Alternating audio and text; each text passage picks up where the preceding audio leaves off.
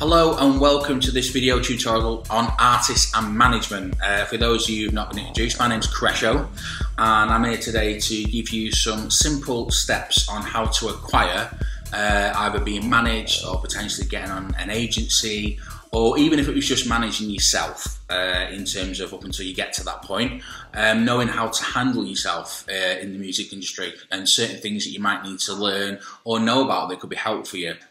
Okay, so number one is how to form a relationship. Okay, well, first I'd start by obviously doing some research on the internet and finding out who's actually out there. Uh, find out who these people are, you know, who you think you would like to be represented by, who you want to be kind of associated with. Uh, that's quite important. So, you know, you start with the basics there, finding out who's out there, okay? I always think it's good to know also what the person looks like, okay? Uh, that's obviously uh, can come into play if you are at, a, an event or a festival or a club night or whatever. And if you see that person there, obviously you're prepared, you know what they look like, and it'd be a lot better if you can go up and introduce yourself. You know who they are. They might not know who you are, but you can introduce yourself and it, it looks good straight away that you know who they are and, and what they do. Um, I'd say going to events uh, and spotting someone is always great because obviously, you know, a handshake I would say is a lot more powerful than an email, for example, or a social media message. You know, once you've actually met these people in person, you probably will find it a little bit easier uh, to strike up a conversation.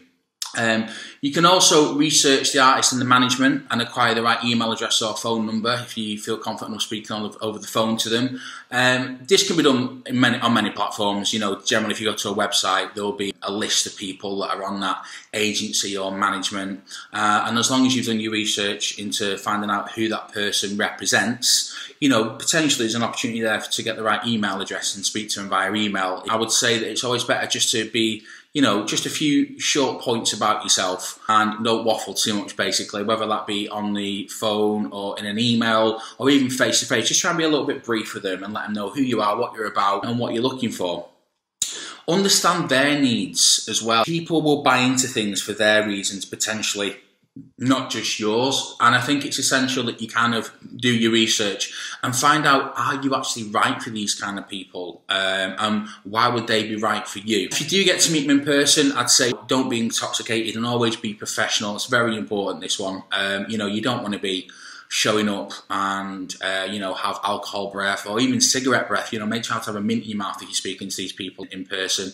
Always have a USB with you as well if you can. I think it's always helpful if you can have something that you can just show what you're about, what you're doing. It looks more professional. And you know what? I think if you actually make an effort to meet these people, it's always better that you give them something exclusive. So maybe something that no one else has got, and that's going to make them a little bit more intrigued into the ways of what you're doing, and also hopefully hopefully that they'll listen to you know what you're about uh, and take you more seriously as an artist.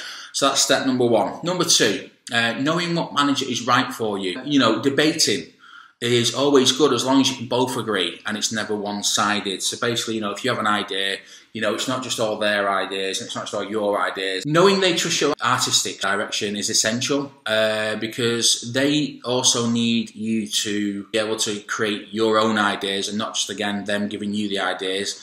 You know, if you can come up with some really good ideas that they appreciate, that's always uh, a good platform. I mean, if you come up with ideas and they don't appreciate it, then, you know, maybe you're not right for each other. Um, make sure that they don't have too many other artists, I would say is always a good one as well, because, you know, if you find managers that uh, or agents that have got too many artists, then you've probably got to say to yourself, well, am I actually getting the time from these people uh, that's going to really, really help me? And also, I think you need to be able to communicate and get through to your artists on a personal level.